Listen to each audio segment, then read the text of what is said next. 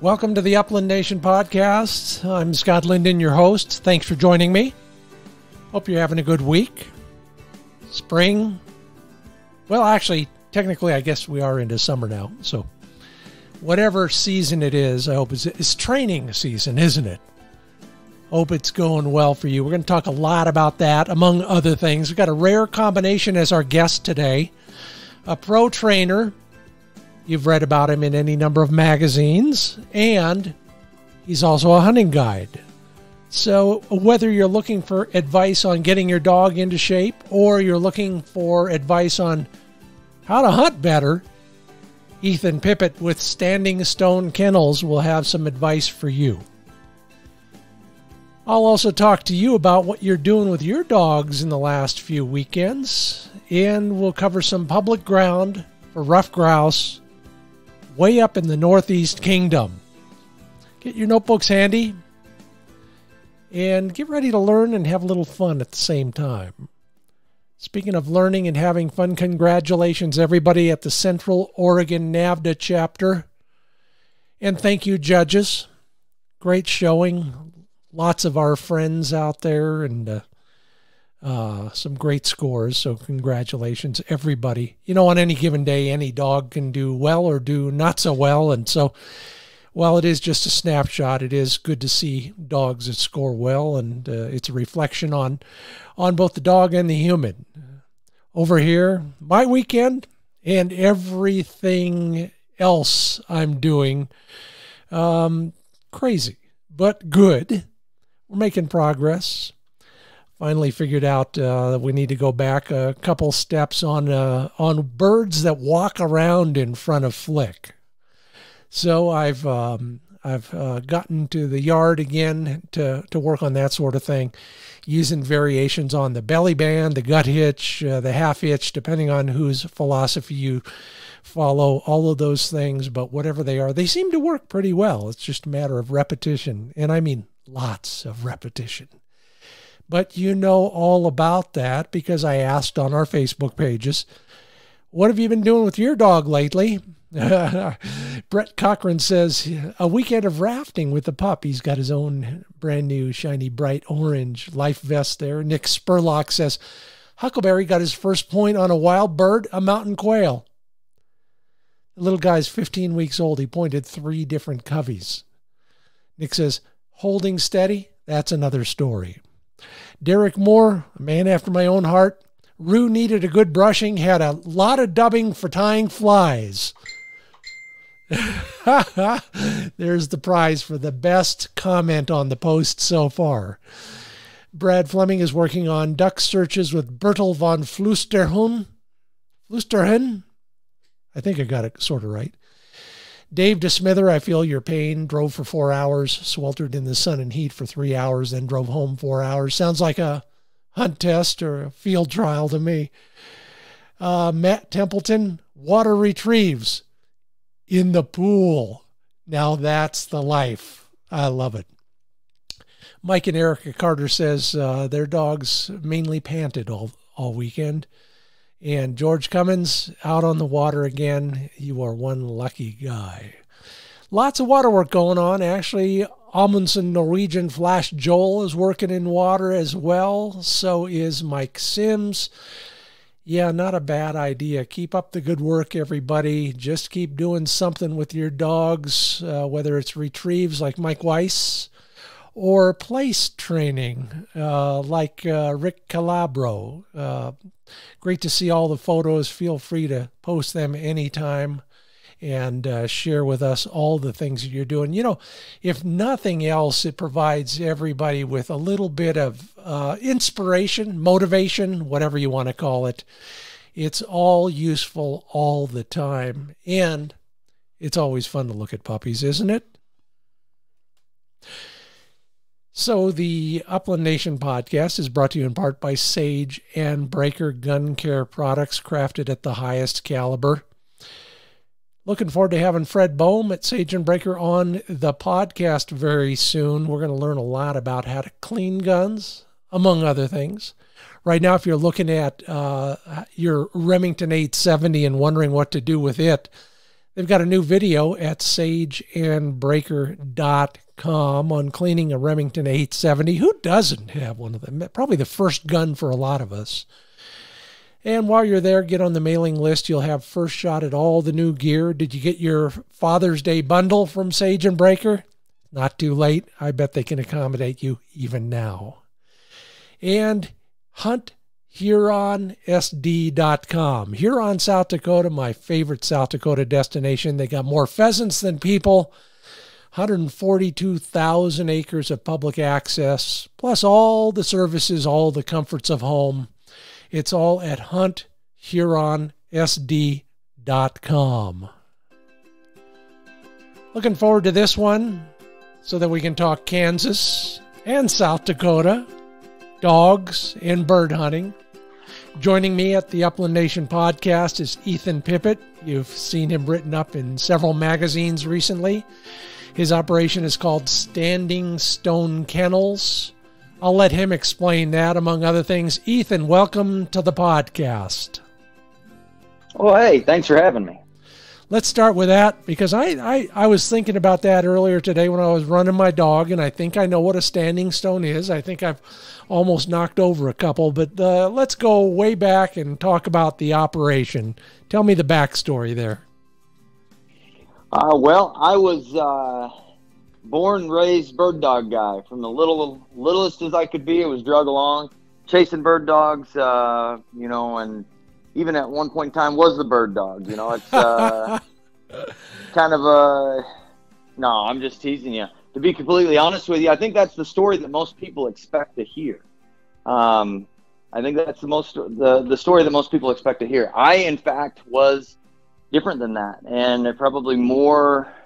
Mm, in, in fact, the exact opposite, and, and more relatable to the average person that's probably listening. It's uh, I was a athlete in college, blew out my knee, became a computer nerd, worked my way through college fixing computers, and decided I wanted to get into hunting at that level of my life. I had very small exposure as a young individual, kind of had a, a interest ish, but no one really closely involved and you know i kind of took it upon myself as a approaching full adult if you will that it was something i wanted to get into and most things that i like to do i dive head first so well um, some of us have yet to become full adults but uh, but i won't hold that against you I, that's that's part of the joy of working with dogs all the day all day long i think so um, so, just out of curiosity, um, base, baseball or football do the, do the number on your knee? Ah, man, football. Uh, ACL, MCL, LCL, and uh, medial meniscus. Oh boy! Oh boy! And I thought I was bad off. well, it doesn't bother me today, but I'm yeah. sure it will soon. um, hey, listen, yeah, they've got they've got uh, replacements now that are pretty easy to put in. You can almost do it yourself. That's what I've heard. I'm not looking forward to it, but I am excited about the advancements. So. Well, that's just great. So, so what what was the uh, what was a real key? I mean, did you have a revelation? Was there an epiphany that uh, that that finally hit you, and and you said, "Yeah, this is pretty cool. I think I'll do this now." Well, you know, I my wife's family um, did a little bit more hunting, and I had an uncle that did some hunting, but I didn't get to go. It just was one of those things that they lived a long ways away, and it just didn't happen. You know, those it wasn't my dad's thing, it wasn't my family's thing, so getting to take those trips didn't really happen as much. And when I had my own vehicle and had my own time, you know, I kind of was able to take it more that direction. Got a little more involved with my wife, and then was like, man, I really want one of these dogs, and you know, you just find a dog, right? You put enough time in and they become perfect. That was the idea that I had in my head. And uh, so I tried that. um, I found out that was not exactly how it works. Yeah, I could have I could have told you that. Jeez. um, we got a puppy out of the paper. My wife and I did, and I started training and realized that I had absolutely no idea what I was doing. And I went to like the age bracket, if you will, that I am. I went to the internet and then I looked for videos and I read books and I read articles and um, you know there's some information out there that was a little better than others, but um, I think a majority of the stuff that I was watching were actually VHS tapes that were converted to DVD, which just puts into perspective, you know, how long ago they were actually created. Which um, there wasn't a whole lot in that specific time frame as far as new, fresh information out there.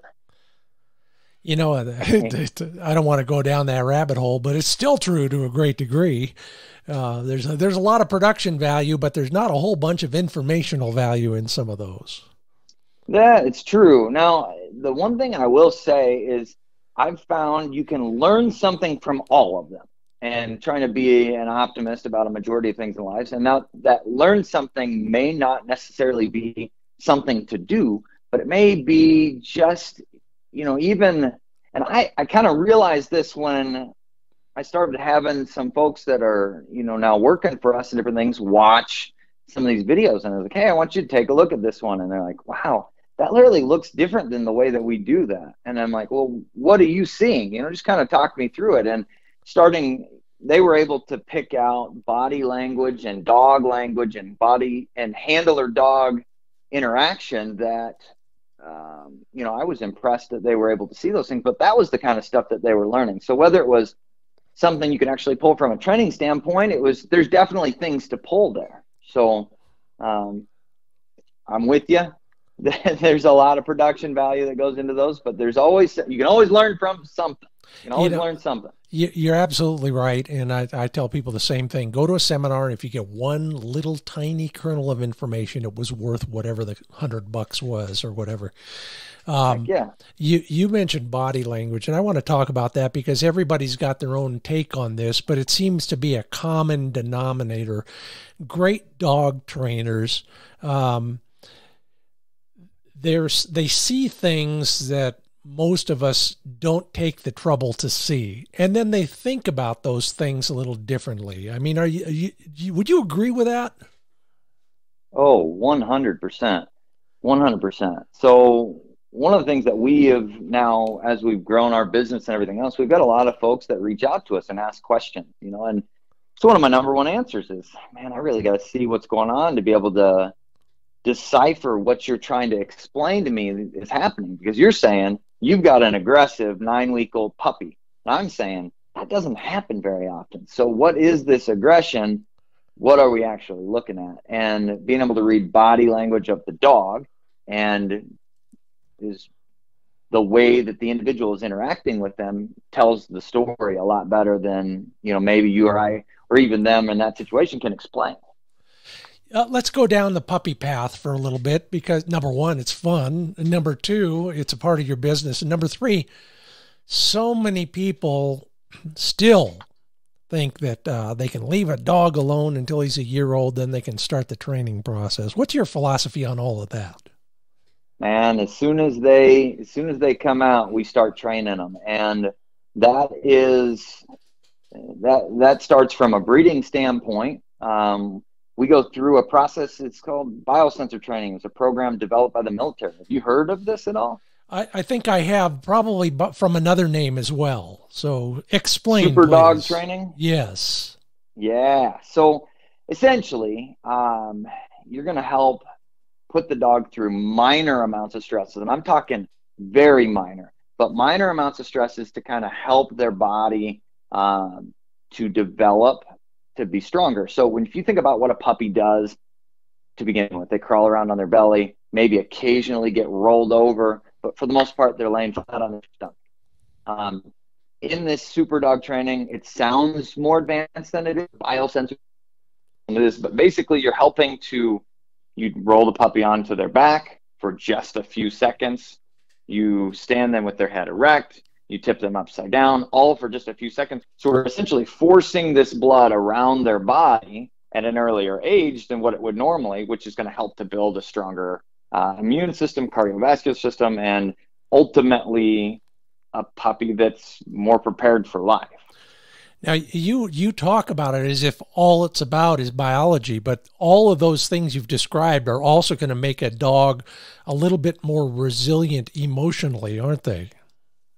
Uh, yeah, I definitely believe there's part of that in it. Um, you know, how much exactly at that point in their life is is geared toward that. I don't I don't have the stats on it, but I know it can't hurt. So well, you know, I thought you were going to go further towards the oh, we make them eat out of seven different bowls, and they walk on seven different floor types, etc.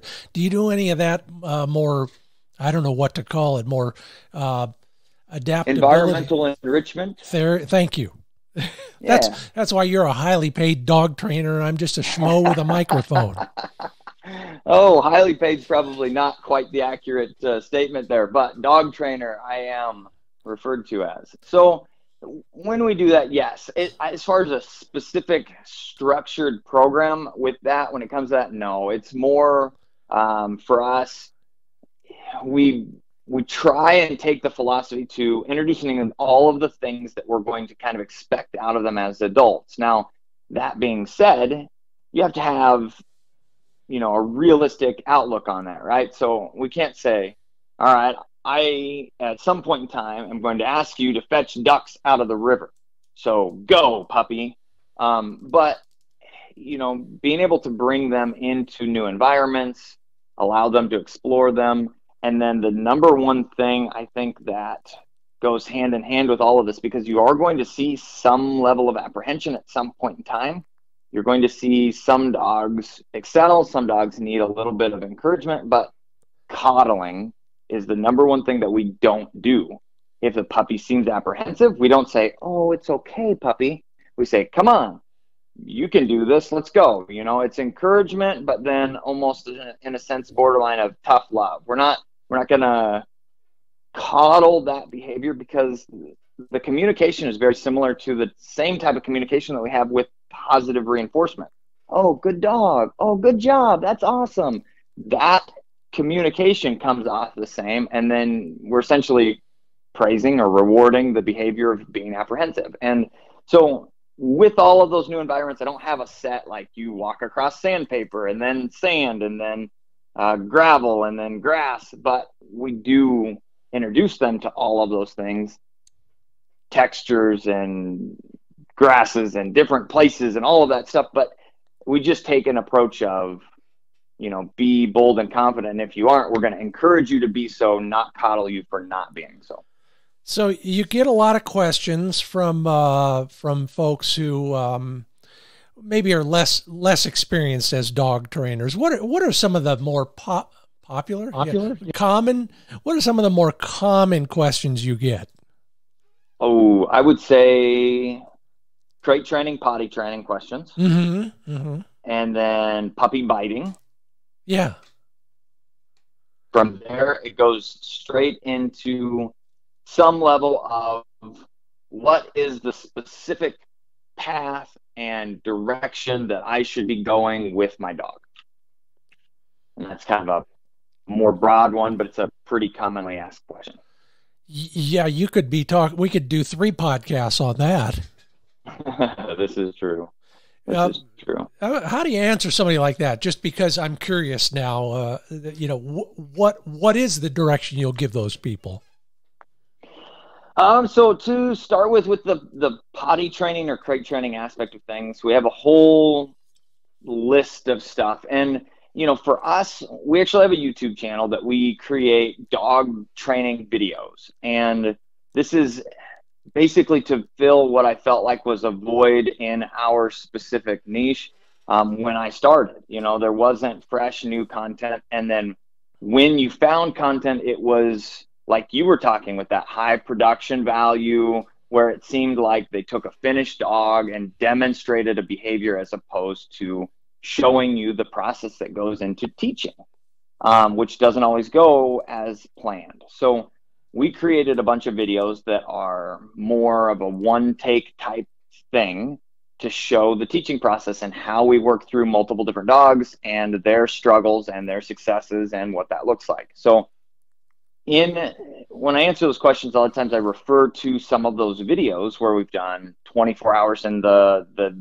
day of a life of a puppy here, and the first night, and how we and potty training where we actually took a puppy and showed that process of at night what we did. And the first night we got up five times, and the second night we got up three times, and the third night we got up two or three times, and then it was you know we had a successful sleep all night because we took all these steps so we refer to those things, but it's basically uh, setting the puppy up for success by having good amounts of exercise, mental and physical stimulation, and then there involves uh, a little bit of setting them down the path of the things that you want to see out of them as adults. So we expect our dogs to be able to understand crate training because it's a very important part of dog development. We start that from day one you come home, you learn this is the expectation here, not you get to sleep in bed until all of a sudden now you have to be downgraded, which is what it's viewed like for the dog. Um, so having a goal in mind with what your expectations are and then following through that from the beginning. That's a typical potty training, house training aspect of things. Um, the other side of it with house training is just the fact that you know puppies are little and they're babies and you have to consider them as such. It's not going to happen in a day. It's not going to happen usually in a week. Sometimes within the first couple months you're going to be seeing a lot better success um, if you're diligent if you're consistent and you put the time in. You got to stay on top of them you got to follow them around. You got to take them outside make sure they pee bring them back inside play with them all of those things come into hand and it's a lot of work. And I think bringing that realization to the surface and saying, guys, you know, you're not alone in this. It's a lot of work. So what you're experiencing is normal and uh, helps people a lot. Sounds like a 12 step program to me, but uh, I'm okay with that. And you know, you you said something that reminded me. I uh, one of my nieces married a guy who went on one duck hunt and came home and decided he wanted a poodle pointer that day. And I spent the next four weeks convincing him not to go get a bird, especially a high powered bird dog like that. Um, yeah, absolutely. Because I I knew his life, and I knew that he couldn't do any of the things that you just described. I mean, do you see that a lot? Do you a see lot. people enamored with uh, with a dog or with a with the sport, and then poof, all of a sudden they're they're trying to be a bird dog owner, but they don't have the time nor the inclination to devote to it. You know, unfortunately, yes. Unfortunately, Yes, we do. And the uh, this kind of come to uh, I'm brutally honest comments. You ask questions, I give answers, and they're not always what people want to hear. But um, you know, I, bird dogs and, and working breeds and things they aren't for everybody, and and that even goes to specific dogs within working breeds. There's sure. differences, and you know there there is not every dog is made for every family but there is a family for every dog. I believe that 100%. And we take that approach to our program and try and be really upfront with people. We try and match, you know, the right family. We do have an interview process for folks just like you're talking about and say, how much do you hunt? How active are you? What are your daily routines? What do you have as a setup? Are you prepared for this higher energy active dog that's going to need to that's going to need that mental and physical stimulation? And you know, some people say, you know, really, I don't think I am. But for the most part, we've got pretty good plans in place. And then sometimes we still make mistakes. And, you know, the, the alpha or the whatever you want to name it, the most high powered dog ends up with the family that was looking for maybe a little lower key puppy, you know, and there's a mistake there, right? So sure. it's being able to say, hey, let's get you the right dog and having an open mind about the fact that not every family is right for every dog, but there is a family out there that is, and we want to do what's best for the dog. So you're listening to the Upland Nation podcast. I'm Scott Linden, the humble host, and that is Ethan Pippitt with Standing Stone Kennels. And the uh, web address is standingstonekennels.com, right, Ethan?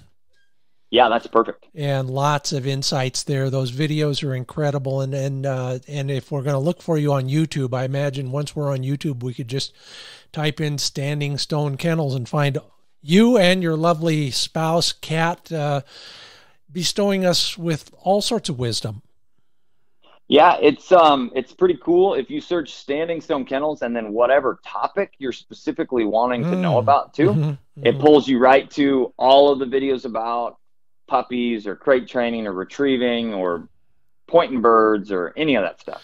Take a look over there. And in the meanwhile, uh, let's just cover a, a, lot of ground real fast. So, uh, here are some of the questions that I hear all the time, and the areas that um, you know that that we both deal with, uh, maybe more frequently than just somebody that has one bird dog once. First is um, what should we do more of as a dog trainer uh, just in general? Um, in general, what should you do more of as a dog trainer? Yeah, uh, praise. Be consistent. You know, okay, there you go. Good boy. Okay. All right, more kibble for you, Ethan. Yeah, it, yeah. I mean, do you mean in you know in the words, in the training process, all of the above? Is it just a lifestyle that we need to adopt? Yeah, all of it. I mean, everything that you're doing, if consistency, and the thing that's even more important than that would be timing. Um, those two go interchangeably, but at the same time, if your timing is off and you're consistent about it, your dog's still not going to learn properly. So mm-hmm. um, you need proper timing first and foremost, and then you need to be consistent with everything you're doing. Using words, you need to consistently get them out and work them, you need to be consistent about your expectations um, all of it. Is consistency is going to be the key. Timing is everything. Give me an example.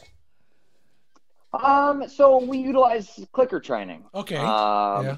Have you heard of that at all? Oh yeah, I'm still not convinced. So um, after we talk about okay. the timing on it, tell me why. But start with the beginning. Yep. So clicker training for those that are listening is a marker. Basically, um, we have to build. Clicker makes a little noise, click, and it's loud enough for the dog to hear.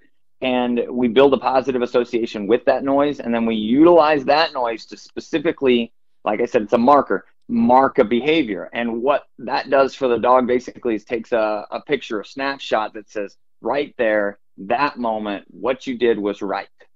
And it's amazing. The next, I mean, it works better if it started with puppies and developed on because you need a dog that has desire to work for something. So starting with a puppy, I really believe you'll be amazed if you just go, all right, I'm gonna, you know, take what this guy says and try it. But um, you you'll see you make that click noise, the puppy will perk up. It knows something good's coming, and it it makes it clear for them, and it's a consistent noise that is always the same. There's no inflection. There's no baggage from what you're feeling for the day. And then from the timing aspect of things, um, you need to mark the exact moment that they do whatever they're doing. If you mark wrong, you're going to be marking the wrong behavior. So timing um, falls into that category. And then as um, you know anything else, let's say the dog makes a mistake, the and you have to correct them at some point in time. Um, dog's attention span is somewhere in the three to five second realm for a majority of things like that. So if you're you walk in the house and you see your puppy peed on the floor, or you walk in the other room, you see that you can't grab the puppy, rub their nose in it because it happened who knows how long ago. All that teaches the puppy is that, you know, don't get near dad and don't smell pee because it's bad. Um, so timely though, if you catch the puppy in the act of peeing, you can say, Hey, stop that. Let's go outside and pee. And those things, those things are going to make it click a lot better for the dog. Pardon the pun. yeah. Uh, so so okay. So you you hit the clicker. Yep. And the dog's expectation early on, very young puppy, early on. Here's the clicker. What's what's going to happen that's going to get him excited, get him motivated? So sure. So you when you build that positive association with the clicker, you got to use something that the dog likes every dog needs to eat. So we utilize their actual meals to train for. And I'm a firm believer that our working dogs and all dogs in nature are working dogs, that they are you know, dogs from a natural standpoint are working animals. Okay. Um, some of them further from that today than others, but a majority of the working dogs, it makes the most sense to them to have to work for their meals. And dogs that have structure and have those pieces in place in their life um, are happier and overall well better adjusted. So um, we work for meals. Food you treats. use, uh, and and specifically the dog kibble that they get for that meal, as opposed to a higher value something something that creates a precedence. Like, oh, I only work for hot dogs. Oh, um, no, you yeah. you work for your dog food, and we have a little bit of a tough love type of mentality when it comes to it. In the beginning stages, we start with that. If you say not interested in your training session or your clicker or your food, then we skip that meal. It doesn't take more than one or two meals before the puppy's like, "Hey, this is important. I better pay attention." Oh, yeah, so true. If we if we only have the intestinal fortitude to do that. So, how about uh, introducing uh, a young dog to birds? How do you do it, and when? Okay, uh, it's a great point, and it's uh it's going to be when you're seeing boldness and confidence out of the puppy. That for some dogs may be in that eight to 10 weeks age. You can introduce a bird then. Some others may be a little slower bloomers, and you got to go uh, 12 to 16 weeks or six months. Um, I like to do it sooner rather than later if we have a bold and confident puppy. Now, um, I will use live birds, and there's a lot of uh, discrepancy on whether or not that is a good thing or a bad thing. But the fact of the matter is, the dogs are going to experience them, and I need it to provide every opportunity for them to see the things that are going to happen later in a controlled environment or as controlled so that we don't cause long term issues. You know, if yeah. all we deal with is feathers in the yard and then a rooster jumps up in front of them in the field, that could still cause some pretty major issues. So, um, with that young puppy, we typically start with a pigeon and we'll lock wings or harness the bird in a way that it can't flap around. That it provides some level of sniff it, check it out. Then we let that bird flap around. If the puppy's pumped, they get to chase it, and that's uh, that's the bird introduction. Yeah, and and I think that the operative word in all that was controlled, so that there is no you know, there's no negative experience with a bird at the very beginning. That's the goal. Yeah. Yep, that's the goal. And speaking of control and introducing a puppy, what about gunfire? Gunfire is an important one, right? we we we work primarily with bird dogs and gun dogs, um, and gunfire is a huge part of that. Now, I'm a, a firm believer that um, gun sensitivity on average is created and that comes from things even before the actual gunfighter induction. A dog that is bold and confident and be in their environment will have drastically less of a chance of having issues with gun sensitivity. A dog that is apprehensive about the world and then put in bad situations can have issues drastically more easily. So as far as us, once we have a solid bird introduction, we typically utilize that bird drive to essentially cloud what is happening with the gunfire so that the gunfire becomes a background noise and then eventually gets associated with this awesome thing that is birds. Um, we get a lot of questions. Can you do it without birds? Yes, but you need something that the dog is extremely high drive about because you need them focused on that. The gunfire itself becomes more of a background type thing you know, I hate to ask this because I, mm-hmm. I'm, I'm, I, I'm, I'm a firm believer that to, to make a bird dog, you need birds. but there are people out there who only get ex- uh, their dogs only get exposure to birds at a training day every m- month or something like that, and then during the season. So, yes. what else uh, could motivate a dog enough to acquaint them with gunfire in a controlled situation besides birds? Some dogs are very bumper driven. Uh-huh. Um, so you could play fetch and incorporate that. I know that's, I mean, that's a lot of times what retriever guys do. They are throwing bumpers, sure. and the dog loves yeah. bumpers, and they can incorporate that. Um, I think that there's pretty mixed reviews as far as whether that works with the average bird dog or the average versatile dog. Um, they seem to be a little more bird driven, depending on how they're developed and how they're bred. But if you've got a dog that you would categorize as would kill for the next bumper, then I think that that would that would fit. If you have a dog that gets bored after one or two throws, then you're probably going to need higher value yet. Mm-hmm. Mm-hmm. How about uh, I asked you what we should do more of when we're training dogs? What about the opposite? What should we probably try to do less of or avoid altogether? Hmm. Um, I have to think on that one a little bit as far as something not to do would be, and this is a cop out answer, but don't be inconsistent. don't have bad timing. Okay, that's um, cheating. I mean, it is cheating. It is cheating. But I, um, I get it. I know I do get it. How about that? So I, I mean, would say I got one for you. I think I got a, I got a really good one. I think that the average person um, overdoes stuff. I think that they overdo stuff yeah, and yeah. they get all wrapped up in I've got to do all these things because they just got their new puppy and they're excited about it. And then all of a sudden, you've got a 12 week old puppy that's bored of retrieving because they've played fetch till they didn't want to do it anymore every single day since they've come home, or they're training three training sessions a day because the more is better, right? If if a little is good, more is better. Um, which that's I think the that would be the thing that it would say don't do more of. It's um everything in moderation. You can overdo anything and um, taking a breath, taking a step back, letting that puppy be a puppy while still maintaining some level of expe- expectation is important. Good friend of mine who really changed my philosophy about dog training. He said, never be a greedy owner. And that's exactly what he's talking about.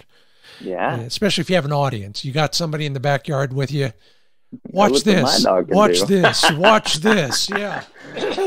over and over until even the humans yeah. are bored stiff.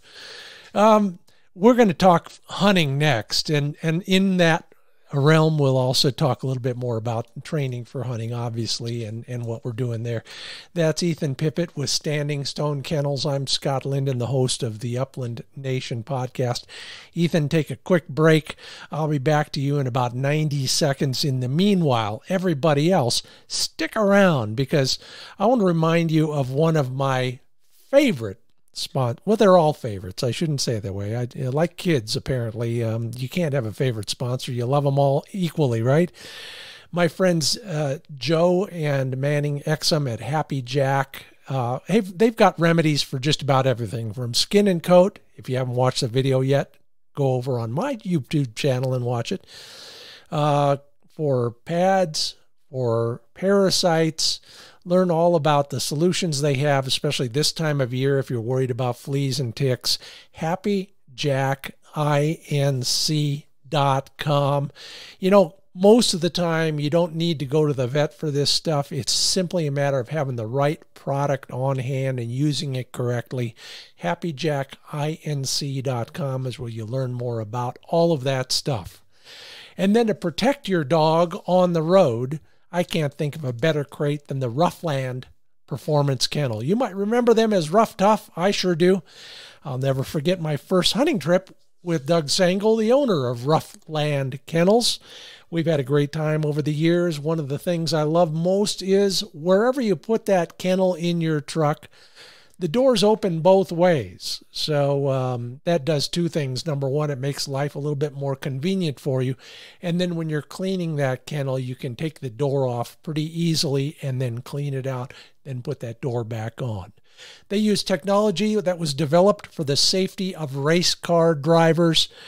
They've got accessories of all sorts. I love the things that I can stack on top to hold gear and water. Learn more at RuffLand Kennels com. And that's your cue, Ethan Pippitt with Standing Stone Kennels. Are you with me? Oh, yeah. Good. Well, I'm learning a heck of a lot about dog training from you. And now we're going to switch gears and take that all to the field and talk about hunting. Now, as I mentioned in the introduction, uh, you hunt as well as and you guide hunting as well as training. So tell me a little bit about your guide operation. Okay, so I got in based out of Winner, South Dakota. Uh, this will be my tenth season up there. Goodness, um, we hunt all wild birds. There are a few operations up there. There's some skeptics, but as far as commercial operations, uh, we hunt 100% wild birds. And the way we're able to do that is by farming for the birds. Essentially, uh, Scott, who owns property out there, has put years and years and years into habitat, and habitat is key. So we do uh, select few groups, and we have a good time.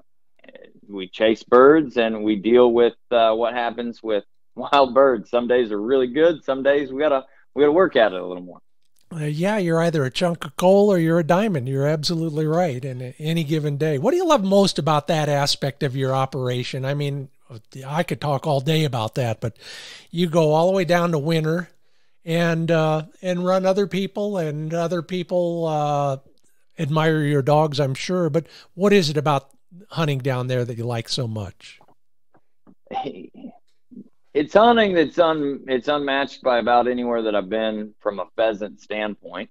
And I just fell in love with the area. I like taking people out. I like those experiences. I like working dogs. I love hunting myself, but the amount of experience that my dogs are able to gain up there is unmatched to anything that I could provide them as an individual. So it's fun to do that. I've made a lot of really good friends. Um, and as well as have become bird dog clients. So now I've got their young dogs coming up and hunting, and it's kind of a fun reunion every year to get these guys back up there, see their puppies, work with the dogs, and you know, and be out there doing it.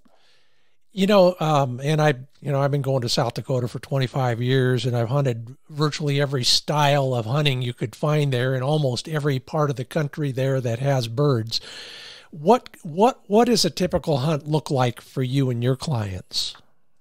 We have a decent mixture. Um, we don't hunt a ton of standing crops. I know that's a pretty typical South Dakota thing. We have a fair amount of CRP, um, had a lot of shelter belts, and then some adjacent smaller food plots to either the shelter belts or the CRP or that run through them. And we have bird dogs. So I like to set them up in as many environments as possible, but we typically utilize walkers and blockers, which keeps vehicles moving to the end um, and keeps us moving through on a, a more efficient pattern.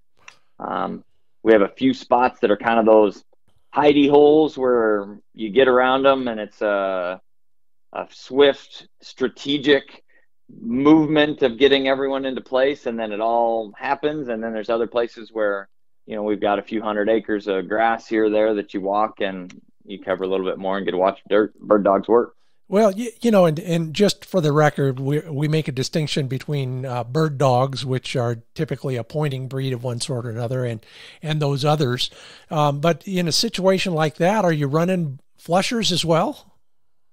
I don't. I run short hairs. Yeah. For everything, always, and I utilize them. I mean, they become really dang versatile, if you will, in that respect because I utilize them to point birds mm-hmm. and then send them into flush, and then they make retrieves and they kind of do you know a little bit of everything while they're out there. That's got to be tough on a trainer as well as a dog. That's the one thing. If I was living in South Dakota, I, I don't think I'd own anything but Cocker Spaniels and Labrador Retrievers because those birds will drive a pointing dog nuts. How do you work around that? Um, you know, I think a lot of a lot of people have a similar feeling to what you just explained. I hear that a lot. Like, oh, they're so hard for they learn it. They they love being out there, they love working, and it just takes learning. There are some that get really good at at locking up and then keying on the fact that that bird isn't there anymore and being able to manage that. And it takes a lot of handling on my part, I will say, especially with the young dogs it's a lot of hey don't run that out hey you need to stay close enough for the guns aspect of things and then by the time they're up there for their second or third or fourth season they're pretty much on auto drive and there it gets really fun then. But it takes experience. So so can you uh, can you actually train for that? Yeah, with the birds. Yes. That's it. Okay. That's it. Yeah. Uh, it's not something that can truly be simulated. You can try it, but Eh, there isn't anything that matches wild birds, and that's the that's the number one thing that those young dogs need. Well, I'm doing as close as I can to that with my my pigeons right now. I described that earlier as well. You know, one of the the things that drives so many pointing dogs nuts is a bird that just walks away. Or, oh, yeah. or in a rooster's case, runs away really fast, so that chasing instinct is is aggravated multiple times over.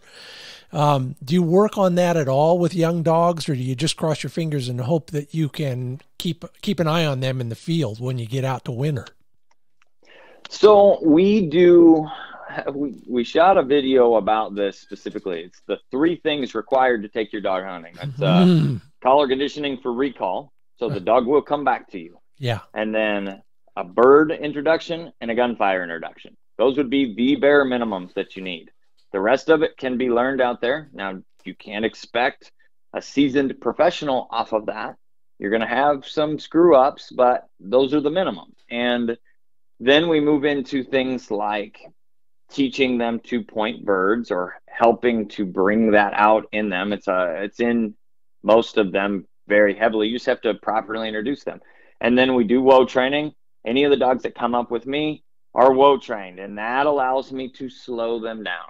I can read the dog and say, all right, you're getting birdie. If they aren't in gun range and it looks like they're, you know, you've got a bird running on them, I stop them there until we're up with them and I send them on. Now, granted, you may lose a bird that they can't continue on that track, but it's part of it too. And they get better at, at finding them and pinning them down per se to where they don't end up running on. And I can tell you, I have never taught a dog how to do that, but they sure as heck figure out how. Well, you know, you you mentioned something earlier that makes that work, and that is uh, you're not you're you're not running very often in head high corn. You can actually see the dogs most of the time. Yeah, absolutely. Yep. So tell me how a typical hunt um, uh, uh starts for you. Have you um, have you got a place to stay? Are you going to the same land, uh, you know, once a week? Or, uh, sure. We've walk got us a, walk a us through a day with you. Yeah, absolutely. So we have 6,800 acres there, um, and we have everything scheduled. It's spread out, and we can hunt the same. Um, I mean, excuse me, we can hunt four days without hitting the same piece of property. I run three day hunts so then you're looking at approximately seven days rest on every piece before it gets touched again. Um, nice. We have a lodge right there in Winner. I make a rotation, and some things get shifted in that rotation based on where the actual birds are and weather and wind. And but for the most part, once we kind of get into a rotation for proper amounts of rest, we stick with it. Um, we leave in the morning. Uh, we hunt primarily northwest of Winner, so it's usually a 15 to 25 minute drive, give or take.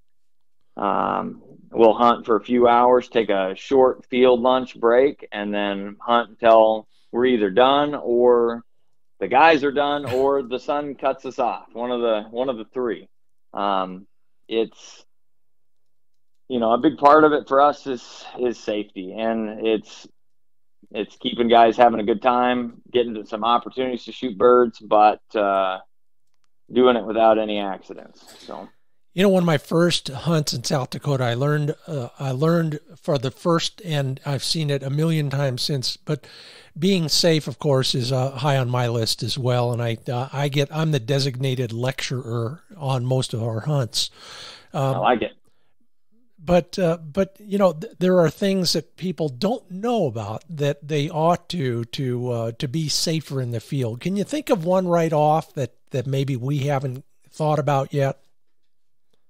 Mm, it's surprising to me how poor muzzle awareness is and how often people don't utilize their safeties properly. Mm-hmm. So they're swinging guns around all over the place, not thinking about the fact that you know stuff comes out the end of those and then they usually are walking not usually but it happens often enough that they're walking through the field without their safety on yeah which you may ha- hit a corn stalk if we're in that edge of that food plot, or you may hit a branch in one of those shelter belts and your gun goes off. So it's um, those are two things that I see pretty regularly. The other is just not being aware, not paying attention, not talking, not saying, not that, you know, people get hung up on talking and it's scaring birds, which there's a lot of truth to that. But still, at the same time, I'd rather scare a few birds and people know where they're at. So, um, it's just communicating and keeping your head kind of on a swivel to know that you're in the line properly and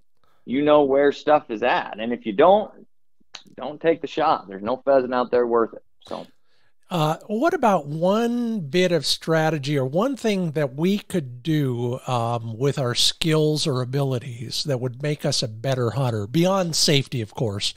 But what is the one thing we could do more of or practice or be better at? Hmm. Um, I think shooting is important. uh, I think that uh, you know the some people that are avid hunters are, are pretty good shots. I think that uh, guys that get to do it on the weekend need to do a little more warming up before they come, so they're they're familiar with what's going on. Yeah. Uh, well, you, you, can hit what you're aiming at. Uh, you have a higher percentage of killing birds and taking them home. What position did you play? In football? Yeah. Fullback. Okay, so you, you know you you were running the tires and uh, and you were uh, doing you know, a lot of practice uh, of handoffs and all of that. Yeah. Um, would you agree with my assessment that most people don't practice shooting? They just think they're they're pretty good at it because they were born in America. Well, that or they don't practice. You know, they go to a range and they stand there with their shotgun mounted to their shoulder and they call pull and then they know where the bird's flying and they break it. And they think that's you know sure. which, which that is a skill set in itself. It's but it's a totally different skill set. So set up like we kind of do for the puppies which is preparing them for the things that they're going to be able to do you know prepare for that. Try and stand there at the place and then mount your gun after you call pull. That provides a new level of getting comfortable mounting and pointing, um, but set up more realistic type of environment. Very uh, insightful and absolutely right on. Uh, by the way, everybody, I am sticking to my promise. I've been shooting every week. Can't get enough ammo to shoot my 100 rounds a week, but I'm shooting at least 50 and it's working. So, um, you know, hey, I encourage everybody who can find ammo to get out and practice more. Um, hey, let's switch gears just a little bit, Ethan, because you're on top of this stuff and many of us aren't. Have you heard any talk about the bird numbers in South Dakota for this season? Well, I know from the locals in that south central area that thus far they have had uh, they had a mild winter mm-hmm. and they had a, a, decent amount of rain to begin with then turned off dry but then um, have got some more rain since a lot of stuff was planted. So kind of headed in the right direction. This spring i heard really good reports of a lot of carryover birds. Now as long as we have good nesting conditions i, I feel it's favorable to have a, a really good year so I've, I've never asked anybody else about this, but I was I was kind of shocked. I you know I work with the state of South Dakota among others on various things, and uh, I wasn't surprised, but I thought it was a bold move for them to stop publishing their bird population forecasts in this in the spring and the summer. You heard any feedback from anybody else about that sort of thing, or does it really matter? Well, I think that um, I think that it could probably help them as much as it could hurt them, and I'm guessing that's the, the reason they took that direction. You know, if it's bad reports, people yeah. don't want to make the trip. If there's good reports, more people want to make the trip. Um, and where we've we've had a few rougher years where stuff showing decline, decline, or lower than expected.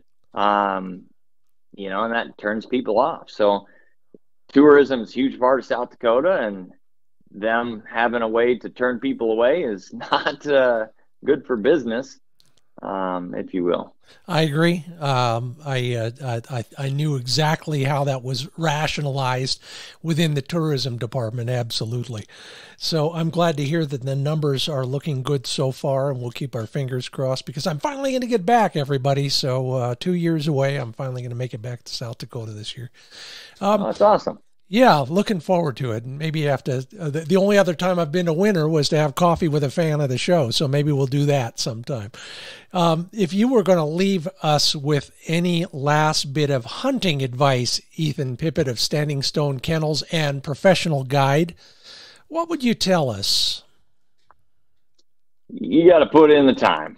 I mean, that's that's what it comes down to, and I think that it's it's one of those things that knocking on doors is still a thing.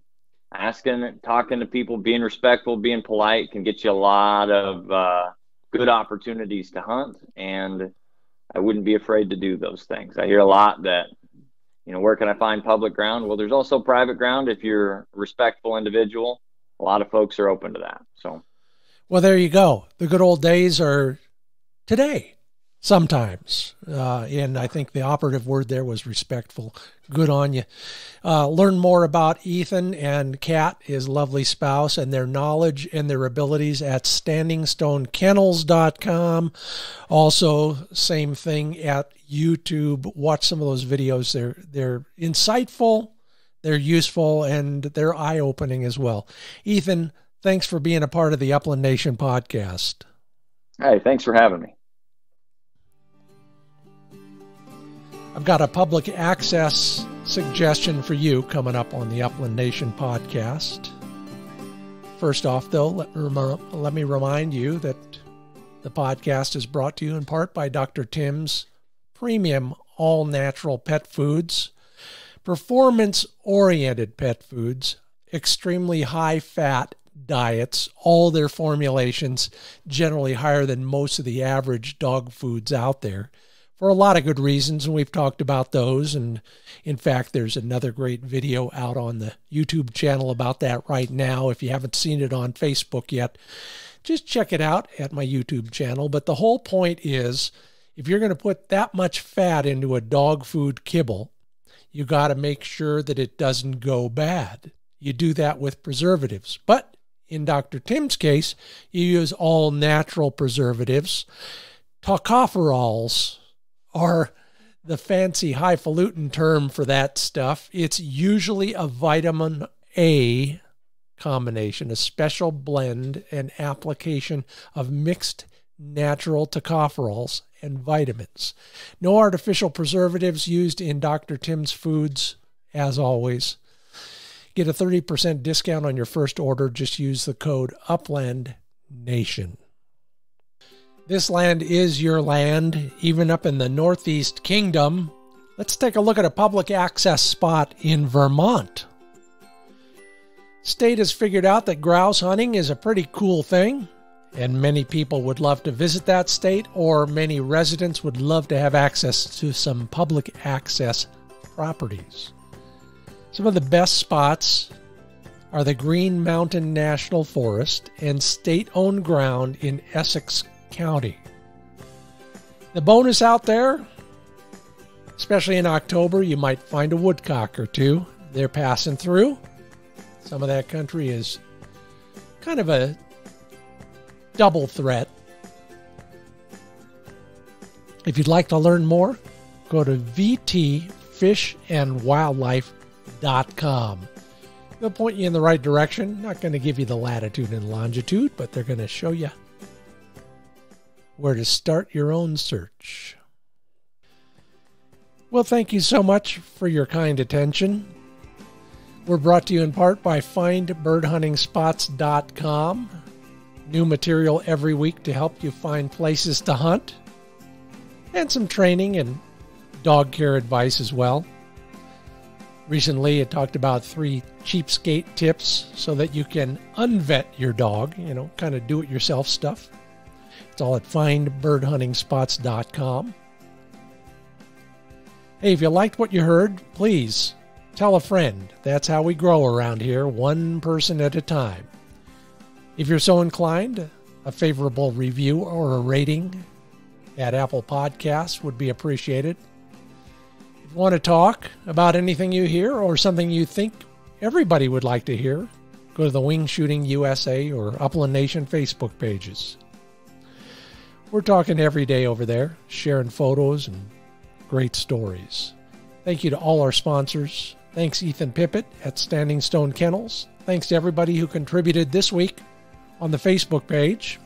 I'll leave you with this quote from John Grogan. He says, Dogs are great. Bad dogs, if you can really call them that, are perhaps the greatest of them all. I'm Scott Linden. Thanks for listening. See you in the field.